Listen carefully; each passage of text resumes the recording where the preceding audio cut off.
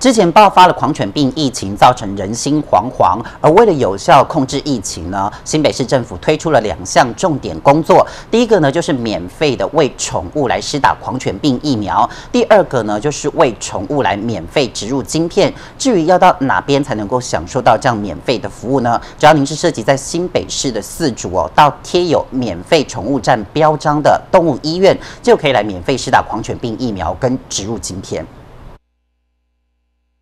之前发生的狂犬病疫情造成人心惶惶，为了有效的控制疫情扩散，新北市推动两项重点工作：一是犬猫都可以免费施打疫苗，包括流浪犬猫或家中宠物；另外也提供宠物免费植入晶片，不仅可以方便管理，也可以遏阻不当弃养情况。同时，为了掌握宠物疫苗施打情形，是否制作了警牌，只要施打过疫苗的宠物，都会发一个警牌挂在宠物脖子上，以便日后稽查时可以清楚。了了解该宠物是否施打过狂犬病疫苗？今年哈已经带家中宠物去施打狂犬病疫苗的民众哈，那尚未领到一百零二年锦牌的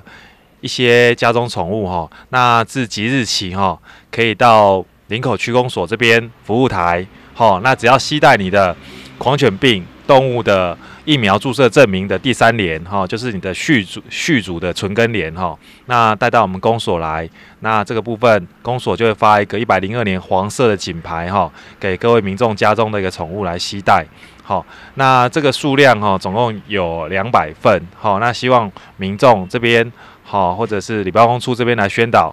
好，民众这边没有领到的，都可以尽速到公所来领取。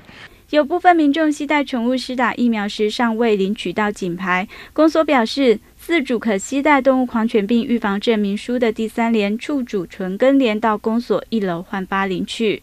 如果家中宠物哈还未施打疫苗的一个民众哈，那可以携带哈家中的一个宠物到林口区，好这边有六家的动物医院，到今年年底哈都是可以施打一个免费的疫苗跟植入晶片。好，那相关的一些。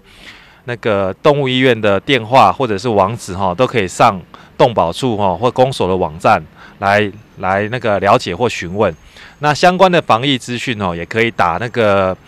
新北市政府的那个防疫专线哈，二九五九一七五一，好，二九五九一七五一来做相关的询问跟了解。